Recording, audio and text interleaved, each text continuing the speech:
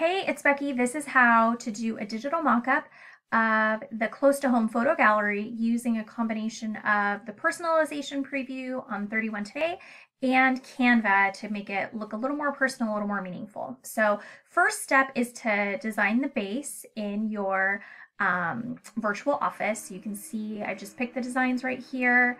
I can choose the text and color so I can have it say kind of whatever I want it to say.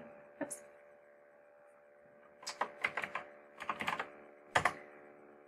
And then once I've kind of created the mockup, then I'm going to download the image and it's going to go right onto my laptop. You can see it just does a little thing right here. Okay. From there, I'm going to go to Canva and I'm going to add a couple of elements.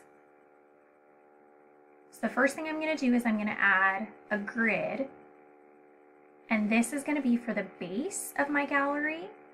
And so I'm going to make it so it looks like the base. So it's got the rectangular shape, so I can just adjust it like that.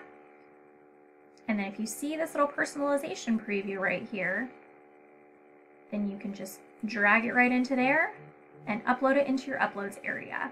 So you can see that I've done a couple, so I'm going to do one that I have completely done. So I'm just holding on to this. So I pick the graphic that I want and I'm holding on to it until it uh, shows up in that grid and then I'm hitting drop. If I want to adjust it to make it a little bit bigger, I like doing that. And then I just click OK. And then I'm going to go over and I'm going to add another element. But this time I'm going to add a frame because I want the um, photo to look like it does on the um, on the iron. And so the iron has the like rounded uh, edges, rounded square edges. So I'm just going to scroll through. I'm not looking for anything super fancy.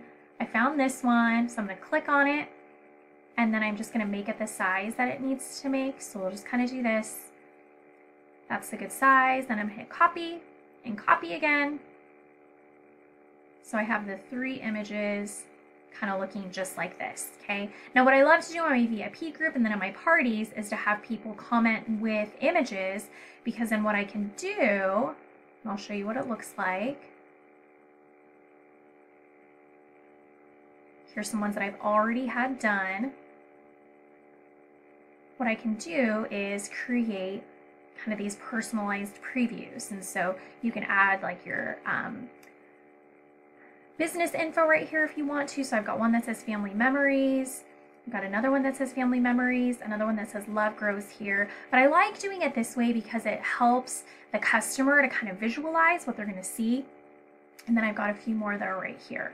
So just all sorts of different ways to preview it. When I want to show, when I want to drop it, I do the same thing that I did for the base, only this time I'm going to do it for a picture. So I've got a picture right here of my grandma. I'm going to drag it over here until it shows up there, and then I drop it. And then you go right here. And then when you're ready, you download the image, and there you go. You've got your digital mock-up for the Close to Home Photo Gallery.